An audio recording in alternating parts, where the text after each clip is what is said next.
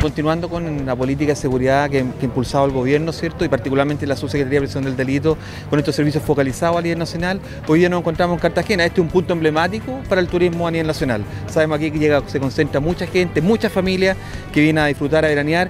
Y obviamente traer esta formación con esta ronda masiva acá transmite más seguridad, más tranquilidad para que lo puedan hacer de mejor forma. Estamos muy contentos de estar en esta maravillosa comuna nuevamente dando el vamos a una a ronda preventiva que estamos realizando con Carabineros. Este es un trabajo coordinado, pero es un trabajo maravilloso porque Carabineros hace un servicio extraordinario, ampliando su dotación y llevándole seguridad y prevención del delito a todas las comunas de nuestro país.